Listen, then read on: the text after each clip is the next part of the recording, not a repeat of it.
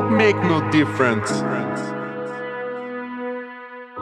Donc là, on est sur, euh, sur la station euh, de Tour de Croissance ou euh. Donc l'objectif, c'est de- de- d'avoir accès euh, rapidement et facilement aux couches profondes du sol et potentiellement aux racines qui, poussent dans ces zones-là.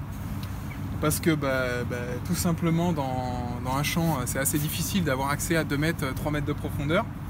Et euh, du coup, ça nous demande de mettre en place des équipes assez conséquentes euh, pour, euh, pour creuser, faire tous nos prélèvements. Alors que là, dans ces tours, il nous suffit d'ouvrir le, le panneau. On a visuellement accès déjà à certaines racines qui vont pousser en, en surface de la vitre, qui vont nous permettre de faire plusieurs mesures, notamment de, de densité de racines, de branchage, de ramification. On va pouvoir aussi euh, enlever euh, complètement le panneau pour injecter des éléments minéraux, faire euh, injecter de, l'eau lourde pour faire un suivi de, tous ces flux au niveau du sol et au niveau de, la plante. Essayer de sélectionner, déjà présélectionner des plantes qui sont plus intéressantes pour aller justement chercher ces ressources en, profondeur. En, en fin d'hiver, milieu d'hiver, fin d'hiver, donc les cultures sont encore relativement jeunes, donc c'est assez peu probable que qu'on trouve des racines en profondeur. Si on en voit, c'est- certainement les cultures de l'année euh, précédente. Non, non, non, de l'autre côté. Ah, de l'autre côté. Et si tu veux. Euh... Celle-là. Ok, merci. On fait une petite interview.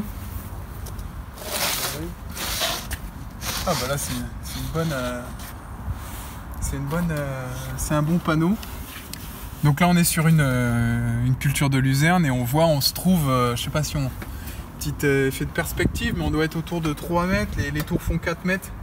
Donc on voit bien les, racines euh, qui sont présentes à 3 mètres de profondeur. On a donc on a trois types de sols. On a un sol de surface, un premier sous-sol et un, sous-sol très profond qu'on a été prélevé dans des champs. Et on voit même là on a un, beau un, port de, de, vers de terre. On a injecté des vers de terre dans les tours pour essayer de, se rapprocher au plus près d'un environnement naturel. Mais on a bien conscience que, que c'est pas un environnement complètement naturel, il y a quand même des perturbations. Le sol a été euh, re- remis en place, donc il y a une porosité qui est plus grande, une plus faible densité. Les températures, comme ils sont à l'extérieur, à l'air, bah, la température du sol suit pas mal euh, la température de l'air.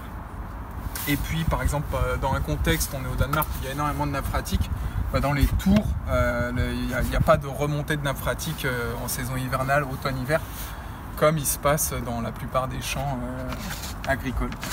Mais bon, ça permet d'avoir accès facilement et rapidement à un certain nombre d'informations qui après vont nous permettre euh, d'aller tester euh, dans des conditions euh, plus réalistes au champ.